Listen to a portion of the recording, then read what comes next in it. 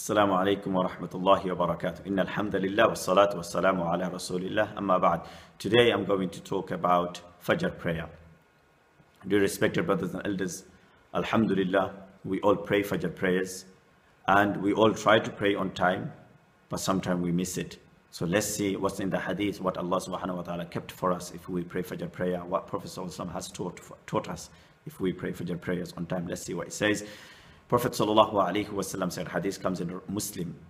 Yeah, Muslim is a hadith book, Bukhari, Muslim, and etc. So in Muslim, it says, من صلى العشاء في جماعة فكأنما قام نصف الليل ومن صلى الصبح يعني الفجر في جماعة فكأنما قام الليل كله.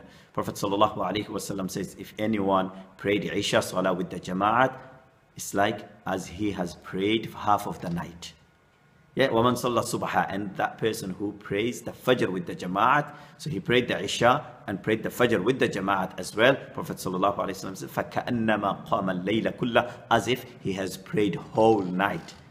Yeah, it's impossible, it's, it's hard, difficult for us to pray whole night. But we can pray the Isha with the Jama'at, Fajr with the Jama'at and get reward for reward as we have prayed, as if how we have prayed the whole night, reward of the prayer of entire night. So that's one thing we can look into it, inshallah. Second hadith, Prophet sallallahu alaihi wasallam says, "Inna athqalu salati ala al-munafiqina salatu al-isha wa salatu al-fajr, walau ya'lamuna ma fihima la atawhuma walau habwan." That Prophet sallallahu alaihi wasallam said that the Fajr and Isha prayer is the hardest prayer on the hypocrites, on the munafiqun, because they have less love for Islam, less love for Allah, less love for deen. So they wouldn't come to early morning to the masjid to pray. They wouldn't come late in the night to pray. So Prophet ﷺ said this is the hardest prayer for them. Yes, but he says that if they only know, yes, if they know the reward in the Fajr and Isha prayer, yeah,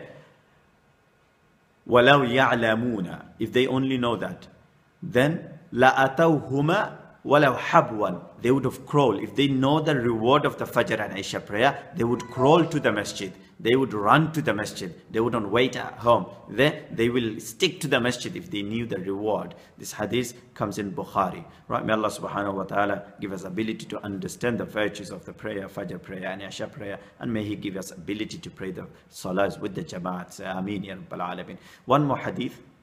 Rasulullah sallallahu alayhi wa sallam hadith come from Abu Hurairah radiallahu ta'ala anhu says, يتعاقبون فيكم ملائكة بالليل وملائكة بالنهار angels they come to you angels of the night and angels of the day they come on their according to the timing right they come to us they come to visit us see us and work with us ويجتمعون في صلاة الفجر وصلاة العصر and the, the group of the morning group of the daytime they come at fajr time and group of the night they come at asr time right ثم يعرج الذين باتوا فيكم then those people spend the night with us they start going to Allah subhanahu wa ta'ala فَيَسْأَلُهُمْ وَهُوَ أَعْلَمُ بِهِمْ then Allah subhanahu wa ta'ala ask them obviously the pure angels they spend the night with us they go at the fajr time and Allah subhanahu wa ta'ala ask them while Allah know what, what while Allah uh, Allah knows that Himself, that Allah knows we what we doing, how we doing, how sincere we are, how what much sort of ikhlas and khushu and khudu we have. Allah knows everything. Then Allah asks them, that how did you find my slaves? كيف تركتم عبادي? How have you left them, or how did you find them?